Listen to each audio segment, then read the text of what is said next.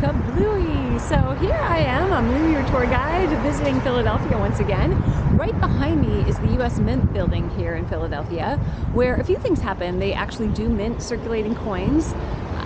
My dad passed this on to me. we both still do it. Uh, every year around this time, around like March or April, uh, in New York and also where I grew up in Ohio, you'll start to see pennies that were minted in Philadelphia, which have a P underneath the year, and or at least they used to. I don't know if they still do, but I, I just have this like odd habit of always looking for new pennies, like the fresh, brand new ones, right out of the mint. Um, so they do mint circulating coins here. They also mint medals, and they mint coins that aren't ever intended to be circulated that are more for collectors.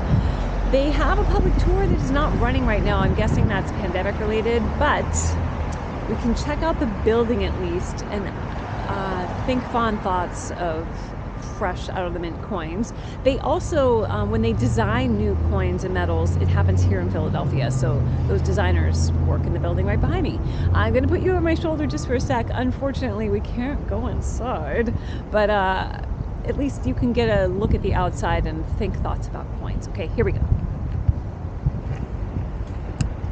Oh, that's that's the front. Oh, they're both the front. I like.